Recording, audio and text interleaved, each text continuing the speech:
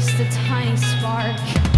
I'll give it all my oxygen, so let the flames begin. So let the flames begin.